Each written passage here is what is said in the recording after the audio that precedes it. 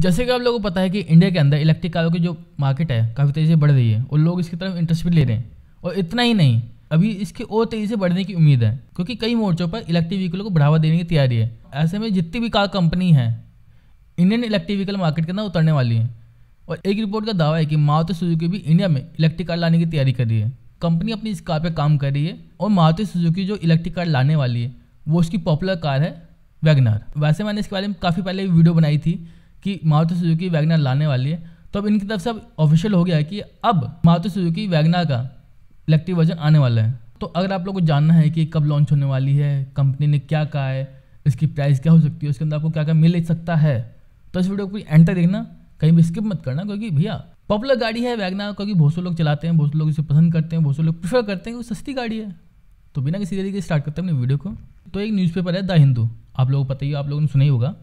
इसकी रिपोर्ट के according Maruti Suzuki India के अंदर वैगना का इलेक्ट्रिक वर्जन लॉन्च करने वाली है। और मैं आपको यही बता दूँ कंपनी ने 2018 में इस इलेक्ट्रिक व्हीकल को लेकर काफ़ी बड़ा ऐलान किया था। लेकिन अभी तक मारुति सुजुकी ने ऐसी कोई भी इलेक्ट्रिक व्हीकल लॉन्च नहीं की है। लेटेस्ट रिपोर्ट के अकॉर्डिंग मारुति सुजुकी इंडिया 2025 तक अपनी पहली इलेक्ट्रिक कार वैगना को ला सकती है। और एक मीडिया रिपोर्ट के अकॉर्डिंग कंपनी के जो स्पीकर हैं जो पब्लिक स्पीकर जो इनकी तरफ़ से बोलते हैं उन्होंने कहा है कि हमने ऐलान किया है कि 2025 तक इस के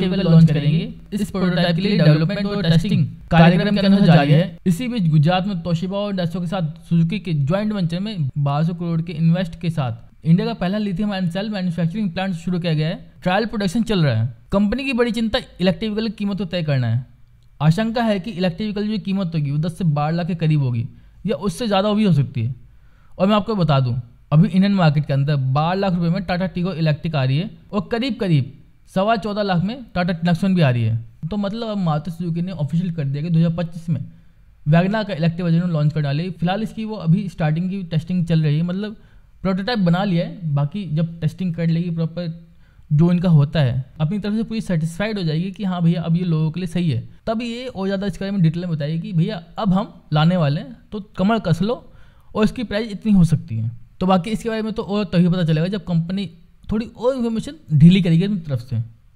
तो अगर आप लोगों को वो जानना है इसके बारे में तो आपको मेरे चैनल में बने रहना पड़ेगा। और आपको अगर रेगुलर बेस पर ऐसी इन्फॉर्मेशन चाहिए तो भैया जो लाल बटन है ना सब्सक्राइब का, उसे तोड़ दो। क्योंकि मैं ऐसी इन्फॉर्मेशन रेगुलर बेस पर डालता रहता हूँ। और भी मैं एंटरटेनमेंट सेगमेंट के अंदर वीडियो डालता रहता हूँ। अगर आप लोगों ने वो नहीं देखी तो आप लोग वो भी जाकर देख सकते हो। तो बाकी अगर आपको और कोई इन्फॉर्मेशन चाहिए कोई पर्टिकुलर वीडियो चाहिए तो आप लोग मेरे को इंस्टाग्राम पर डीएम कर सकते हो। और अगर चाहो तो फॉलो भी कर सकते हो। बाकी इस वीडियो से वित्ता वीडियो अच्छी लगी मीटर लगे तो आपको पता है क्या करना है। लाइक कमेंट सब्सक्राइब तो मिलते हैं video bye bye take care